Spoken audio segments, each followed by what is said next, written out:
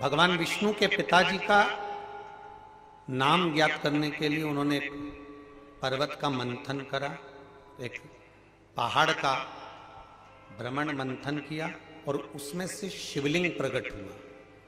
ये दुनिया का सबसे पहला शिवलिंग था जब भगवान ब्रह्मा और भगवान विष्णु ने प्रकट किया था।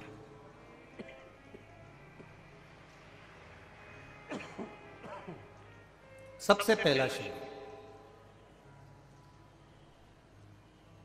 अब वो शिवलिंग प्रकट हो गया, पर ब्रह्मा जी के मन में यह भाव प्रकट नहीं हुआ कि इस शिवलिंग का चरण कहाँ है।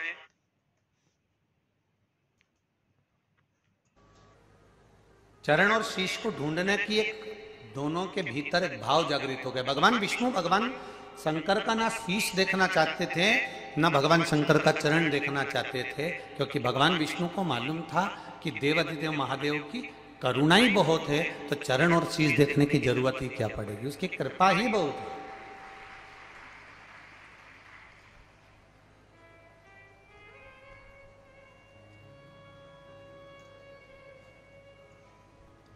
पर ब्रह्मा जी के मन में विश्वास जागृत नहीं हुआ, और ब्रह्मा जी ने विचार कर लिया कि मुझे कुछ भी करके ब्रह्मा जी ने विचार करा कि भगवान शंकर का शीश कहाँ है, चरण कहाँ है, जरा मैं पता तो करूँ? और ब्रह्मदेव के मन में यह भाव जागृत हुआ और ब्रह्मा जी ने भगवान विष्णु से कहा कि मैं भगवान का शीश देखने जाऊँ कि चरण देखने जाऊँ, आप जो कहेंगे मैं स्वीकार कर लूँगा।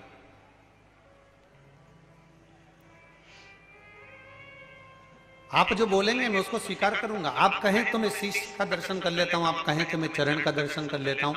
आप जो बोलेंगे, मैं स्वीकार कर लूँगा।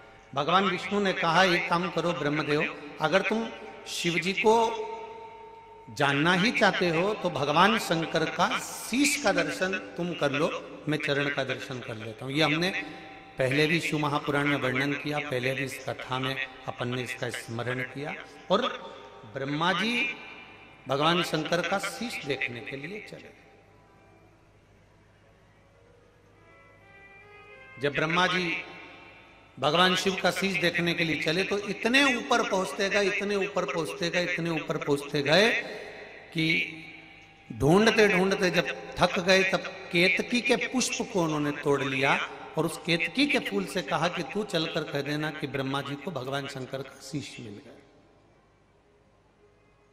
केतकी के फूल ने मन में विचार करा कि मैं क्यों झूठ बोलूँ? तो कहा, मैं तुझे सुगंधित बनाकर रखूँगा। थोड़ा सा